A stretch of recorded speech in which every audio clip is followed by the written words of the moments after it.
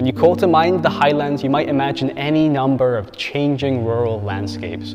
For the Highlands are 400 million years old, and they have been the subject of artistic imagining since before Rome had a name. To dive into this world so beloved by the Romantics, you need look no further than Duich and the Five Sisters by Joseph Farquharson. With blue skies and gentle waters, this is a world of eternal summer. Consider the boats in the foreground, the only human presence to be seen in this otherwise untouched landscape.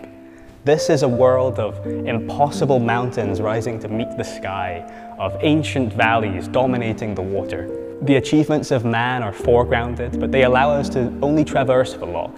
We cannot hope to tame this terrain, for it is equal parts as timeless as it is expansive. But as surely as day comes with night, it is important to remember that there are two distinct sides to the Highlands. In this regard, Spate in the Highlands by Peter Graham is perhaps a more realistic interpretation of what the Scottish heartland actually looks like.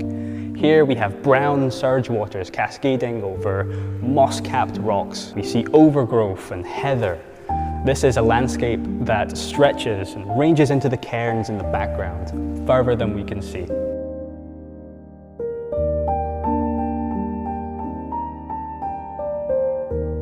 These highlands are dark and ominous. They are far removed from towns and cityscapes that we are familiar with, for this is the land that civilization could not conquer.